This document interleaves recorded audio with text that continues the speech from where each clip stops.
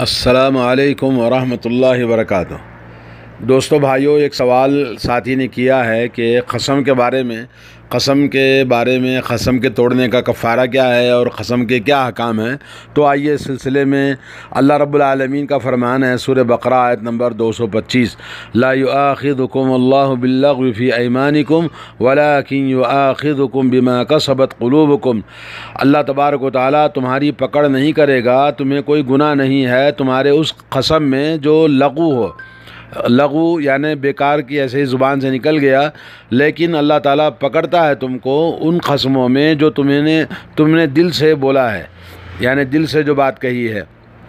اور یہ جو آیت ہے سورہ بقرہ کی، اسی طرح سے ایک اور آیت ہے سورہ معاہدہ میں، آیت نمبر ایٹی نائن آیت number I D eighty nine اللہ تعالیٰ فرماتے ہیں ولا کی آخر حکم بما عقدتم الایمان اللہ تعالیٰ تمہاری قسموں میں ان قسموں کو پکڑتا ہے جس کو تمہارے دلوں نے دل سے قسم کھائی ہے۔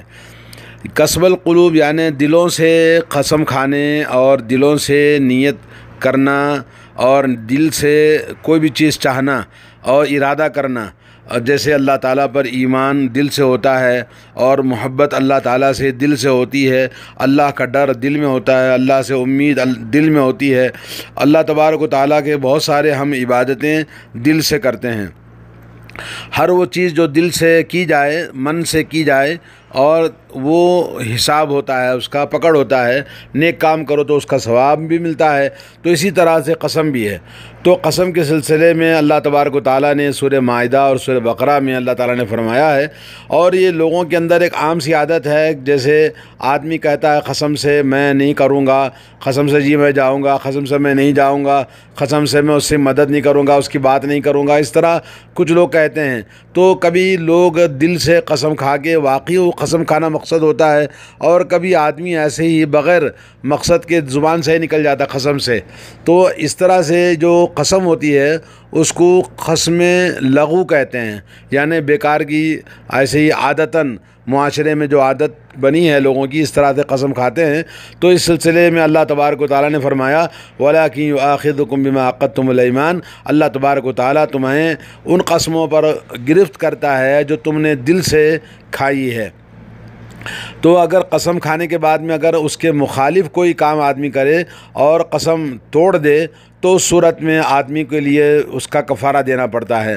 اللہ تعالیٰ نے فرمایا فکفارت ہوئی تعام عشرت مساکین امین اوسط و تعیمون اہلیکم کفارہ یہ ہے کہ دس لوگوں، مسکینوں کو کھانا کھلائیں، وہ درمیانی کھانا جو ہم اپنے گھر والوں کو کھلاتے ہیں، یا یہ کہ ان کو دس لوگوں کو کپڑے پہنائیں، یا یہ کہ تیسری چیز ہے گردن آزاد کریں، اگر گردن آزاد کر سکتے ہیں، غلام آزاد کرنا۔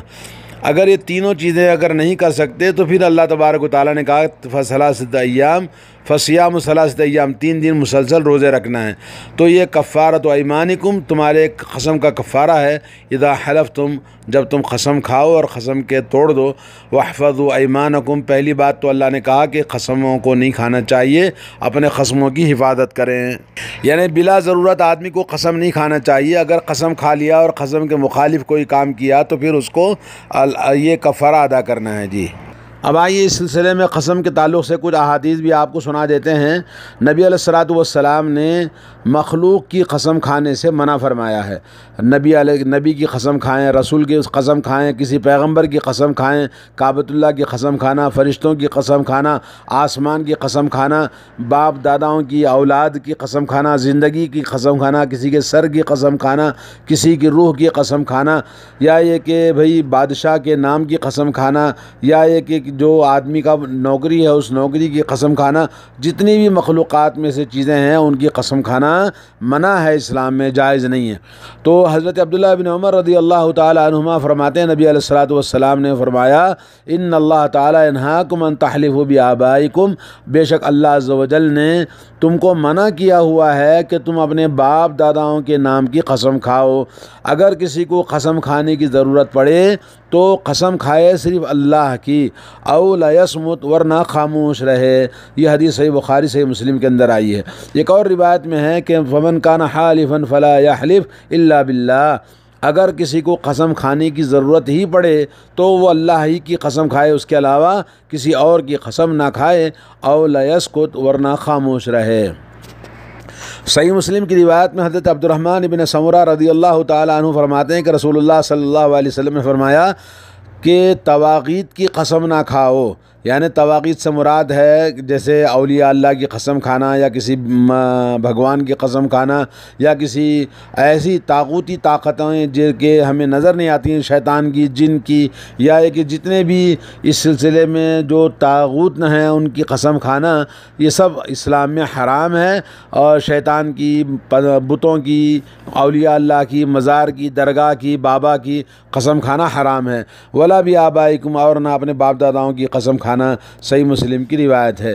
جی اسی طرح سے حضرت بریدہ رضی اللہ تعالیٰ عنہ فرماتے ہیں۔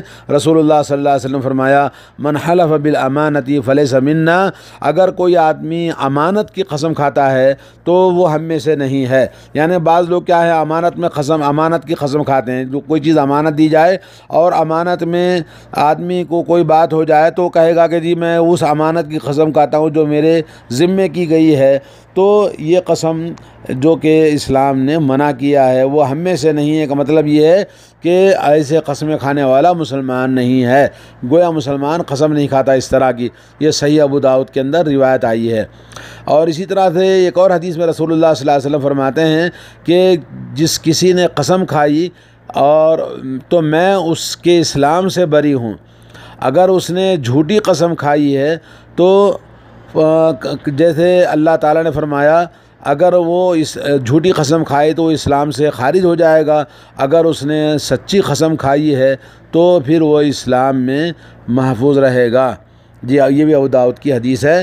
عبداللہ بن عمر رضی اللہ تعالیٰ عنہ نے ایک آدمی کو سنا، وہ کہہ رہا تھا، لا والکعبہ نہیں ہے، کعبے کی قسم۔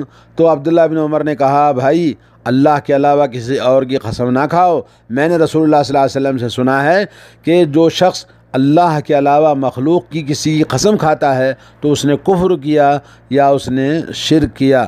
یہ ترمیدی کی حدیث ہے۔ تو بعض علماء اکرام نے کہا کہ اس نے کفر کیا یا شرک کیا، یہ شدت کے لیے ہے کہ آدمی اللہ کے نبی صلی اللہ علیہ وسلم نے کہا کہ جیسے ریا و شرکن ریا کاری شرک ہے۔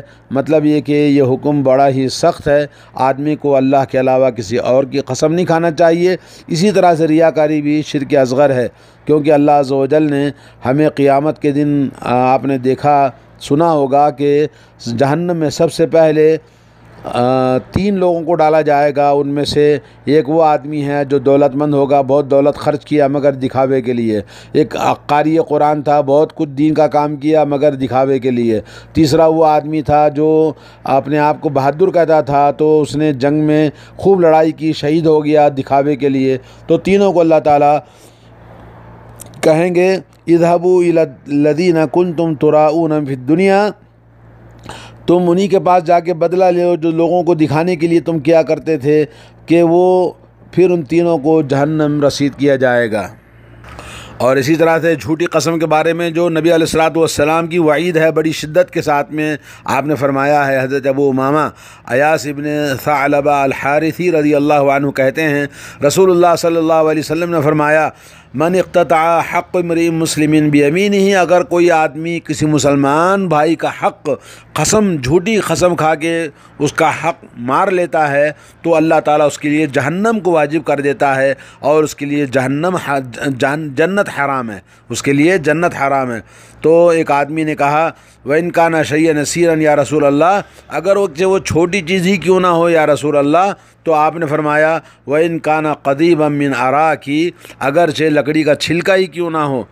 لکڑی کو جو چھلکا لگا رہتا ہے، وہ بھی اگر کوئی آدمی جھوٹی قسم کھا کے اگر حاصل کر لیتا ہے کسی حق، تو اس کے لیے جہنم ہی جہنم ہے۔ جنت حرام ہے۔ صحیح مسلم کی حدیث ہے۔ حضرت عبداللہ بن عامر بن العاص رضی اللہ تعالی عنہما فرماتے ہیں، نبی کریم صلی اللہ علیہ وسلم نے فرمایا، القبائر کبیرہ گناہ الشراک باللہ۔ اللہ تعالیٰ کے ساتھ شرک کرنا ہے۔ نمبر دو وقوق الوالدین، ماں باپ کی نافرمانی کرنا۔ نمبر تین، وقتل النفس التی حرم اللہ اللہ بالحق۔ اور کسی کا خون ناحق کرنا۔ اور چوتھی چیز فرمائی، والیمین الغموس، اور جھوٹی قسم کھانا۔ جھوٹی قسم کا مطلب یہ ہے کہ کسی کا سامان اپنا بیچنے کے لیے کہے گا جھوٹ میں کہ جی یہ چیز میں نے پانچ سو میں خریدی ہے، حالانکہ وہ چار سو میں خریدا ہے، لیکن جھوٹ کی چیز، جھوٹی قسم کھا کے چیز کو بیچتا ہے تو ایسا انسان بھی کبیرہ گناہ کا مرتکب ہے سوار بخاری نے روایت کیا ہے۔ ایک اور روایت میں آتا کہ ایک آدمی نبی علیہ السلاۃ والسلام کے پاس آیا، دیہاتی آدمی، اور کہا، یا رسول اللہ قبائرہ گناہ قبائر کیا ہے؟ تو آپ نے فرمایا، اللہ تعالیٰ کے ساتھ شرک کرنا۔ تو پھر آپ نے، اس نے پوچھا کہ دوبارہ کہ وہ، اور اس کے بعد کیا ہے؟ تو آپ نے فرمایا، الیمین الغموس یمین الغموس یعنی جھوٹی قسم۔ اس نے پوچھا، یا رسول اللہ، یمین الغموس کیا ہوتا ہے؟ تو آپ نے فرمایا، جو کسی مسلمان کے حق کو جھوٹی قسم کھا کے حاصل کر لیتا ہے، تو وہ یمین الغموس ہے اور یہ کبیرہ گناہ ہے۔ اور ایک حکم یہ ہے کہ اگر کبھی کبھی انسان قسم کھا لیتا ہے، قسم کھانے کے بعد میں وہ لگتا ہے کہ اس سے اچھی چیز اگر ہے قسم کے خلاف تو قسم کو توڑ دینا چاہیے۔ اور جو قسم کھایا ہے، اس کا کفارہ ادا کر دے تو اللہ تعالیٰ کے پاس اس کی معافی ہو جائے گی۔ عبد الرحمن ابن ثمرہ رضی اللہ تعالیٰ عنہ کہتے ہیں، رسول اللہ صلی اللہ علیہ وسلم نے مجھ سے فرمایا، اے عبد الرحمن جب تم کسی چیز پر قسم کھاؤ، اس کے بعد تم نے دیکھا کہ اس سے اچھی چیز، اس کے قسم کے خلاف میں ہے تو قسم توڑ دو۔ اور جو اس سے زیادہ بہتر چیز ہے، اس کو ادا کرو اور قسم کا کفارہ ادا کر دو، سب متفق علیہ حدیث ہے۔ یعنی جیسے مثال کے طور پر کسی نے قسم کھائی کہ بھائی میں فلاں سے بات نہیں کروں گا، حالانکہ یہ قسم کھانا غلط بات ہے اس طرح کے صلہ رحمی کو کاٹنے کے لیے کہ بھائی اس کے گھر نہیں جائیں گے، اس سے بات نہیں کریں گے، اس کو نہیں دوں گا۔ تو ایسی قسم کھانے کے بعد بہتر ہے کہ بھئی یہ غلط قسم کھائی ہے، تو اس قسم کو توڑ دے اور وہ جو اچھا کام ہے وہ کر لے اور اس کا قسم کا کفار ادا کر دے۔ حضرت ابو رضی اللہ تعالیٰ عنہ سے رسول اللہ صلی اللہ علیہ وسلم نے فرمایا کہ جو شخص قسم کھائے اور دیکھے کہ اس سے اچھی چیز اس کے خلاف میں ہے، تو قسم کا کفارہ ادا کر دے اور اس کے بعد میں وہ جو اچھی چیز ہے وہ ادا کر دے۔ صحیح مسلم کی حدیث ہے۔ قسم کے احکام میں آپ نے اس بات کو سن لیا کہ اگر کوئی آدمی قسم کھائے اور وہ کھانا اس کا غلط تھا تو اس قسم کو توڑ دے اور جو اس سے اچھا اور صحیح اور جائز کام تھا اس کام کو کر لے، مگر کفارہ دینا لازم ہے۔ کفارہ نہیں دے گا تو بڑا گنہگار ہو جائے گا اللہ تعالیٰ کے پاس میں۔ اور یہ بھی معلوم ہوا کہ اللہ تبارک و تعالیٰ نے ایسے ہی زبان سے ہم لغو قسم کھاتے ہیں، زبان سے نکل جاتا ہے۔ تو اللہ رب العالمین اس پہ پکڑ نہیں کرتا، اللہ تعالیٰ اس کو معاف کر دیتا ہے۔ حضرت عائشہ رضی اللہ تعالیٰ عنہ کہتی ہیں، یہ جو آیت ہے سورہ معاہدہ آیت نمبر ایٹی نائن، اللہ تعالیٰ نے جو بات فرمائی، لا یؤاخذکم اللہ باللغو فی ایمانکم اللہ تعالیٰ تمہارے لغو قسموں کو بیکار کی زبان سے ایسے ہی کہہ دیتا آدمی، لا واللہ قسم اللہ کی، اور جی کیوں نہیں اللہ کی قسم؟ ایسے جو ہیں بیکار کی قسمیں اللہ اس کو معاف کر دیتا ہے۔ بخاری کی روایت ہے، اور آدمی کو اس بات کا احتیاط کرنا چاہیے کہ بلا وجہ قسم نہیں کھانا چاہیے۔ اور ایک بات نبی کریم صلی اللہ علیہ وسلم نے فرمایا کہ اپنے سامان کو بیچنے کے لیے کوئی بھی آدمی قسم نہیں کھانا چاہیے، اگرچہ کہ وہ سچی قسم ہو۔ سامان بیچنے کے لیے اللہ رب العالمین کی قسم کھانا بہت ہی حقیر بات ہے۔ حضرت ابو حرضہ رضی اللہ تعالیٰ عنہ کہتے ہیں، میں نے رسول اللہ صلی اللہ علیہ وسلم کو فرماتے ہوئے سنا، الحلف منفقت وللسلعت ممحقت للقصبی کہتے ہیں، اللہ تعالیٰ کے پاس برکت سے محروم ہو جاتا ہے، برکت ختم ہو جاتی ہے۔ جو انسان سامان بیچنے کے لیے جھوٹی، سچی قسم ہی کیوں نہ کھائے، تو وہ غلط بات ہے۔ بخاری مسلم کی روایت ہے اور ایک روایت میں حضرت ابو خطادہ رضی اللہ تعالیٰ عنہ کہتے ہیں، رسول اللہ صلی اللہ علیہ وسلم سے انہوں نے فرماتے ہوئے سنا، ایاکم و کثرت الحلیفی فی البیع خبردار، قسم، کثرت کے ساتھ زیادہ تر قسم ہرگز نہیں کھانا چاہیے سامان کے خرید و فروخت میں، کیونکہ جو آدمی قسم کھاتا ہے، سامان بیچتا ہے، تو اس کے مال سے برکت اللہ تبارک و تعالیٰ مٹا دیتا ہے۔ برکت اس کے مال میں نہیں ہوتی ہے۔ صحیح مسلم کی حدیث ہے۔ تو اس طرح سے یہ باتیں آپ نے سنی۔ اللہ تعالیٰ سے دعا ہے۔ اللہ تعالیٰ ہم تمام کو اس طرح کی بیکار اور جھوٹی قسمیں اور غلط قسمیں کھانے سے محفوظ رکھے۔ وہ صلی اللہ علیہ نبینہ محمد والا علیہ و اجمعین۔